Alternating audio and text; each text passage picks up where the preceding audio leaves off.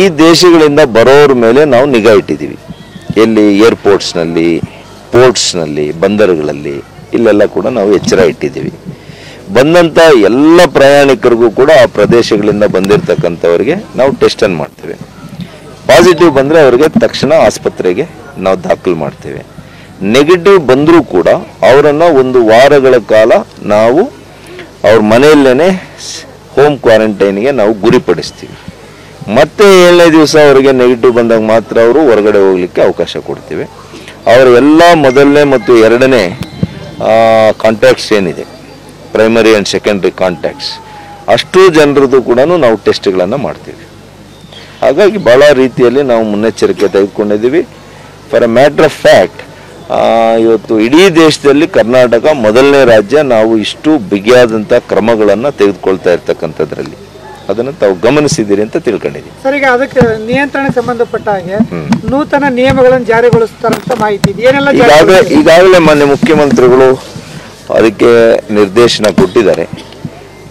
ಯಾವ ರೀತಿಯಲ್ಲಿ ನಾವು ದೊಡ್ಡ ದೊಡ್ಡ ಕಲ್ಚರಲ್ ಫೆಸ್ಟನ್ನು ಕಡಿಮೆ ಮಾಡಬೇಕು ಮತ್ತು ಅನ- ಅನಗತ್ಯವಾಗಿ ಭಾಳ ದೊಡ್ಡ ಸಂಖ್ಯೆಯಲ್ಲಿ ಸೇರಿ ಸೇರುವಂಥದ್ದು ಮತ್ತು ವೈದ್ಯಕೀಯ ಸಂಸ್ಥೆಗಳಲ್ಲಿ, ನರ್ಸಿಂಗ್ ಸಂಸ್ಥೆಗಳಲ್ಲಿ, ಉನ್ನತ ಶಿಕ್ಷಣದ ಕಾಲೇಜುಗಳಲ್ಲಿ, ಅದರಲ್ಲಿ ಕೂಡ ವಸತಿ ನಿಲಯ ಇರುವಂಥ ಪ್ರದೇಶದಲ್ಲಿ ಭಾಳ ಎಚ್ಚರಿಕೆಯನ್ನು, ಮುನ್ನೆಚ್ಚರಿಕೆಗಳನ್ನು ತೆಗೆದುಕೊಳ್ಳಿಕ್ಕೆ ಮಾರ್ಗಸೂಚಿಯನ್ನು ಕೂಡ ಹೊರಡಿಸಿದ್ದೀವಿ ಹಾಗಾಗಿ ಎಲ್ಲ ರೀತಿಯಲ್ಲಿ ನಾವು ಭಾಳಷ್ಟು ಕಾರ್ಯಪ್ರವೃತ್ತರಾಗಬೇಕು, ಮುನ್ನೆಚ್ಚರಿಕೆ ತಗೋಬೇಕು.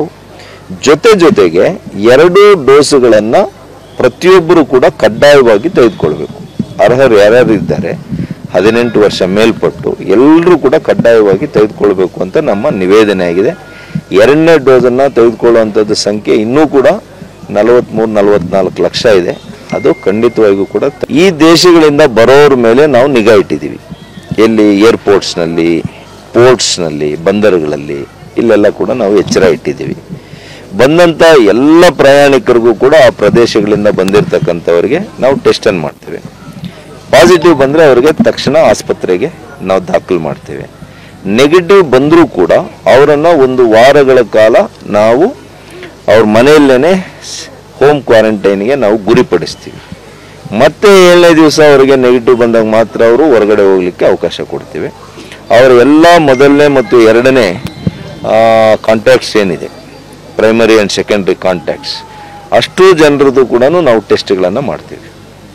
ಹಾಗಾಗಿ ಭಾಳ ರೀತಿಯಲ್ಲಿ ನಾವು ಮುನ್ನೆಚ್ಚರಿಕೆ ತೆಗೆದುಕೊಂಡಿದ್ದೀವಿ. For a matter of fact ಇವತ್ತು ಇಡೀ ದೇಶದಲ್ಲಿ ಕರ್ನಾಟಕ ಮೊದಲನೇ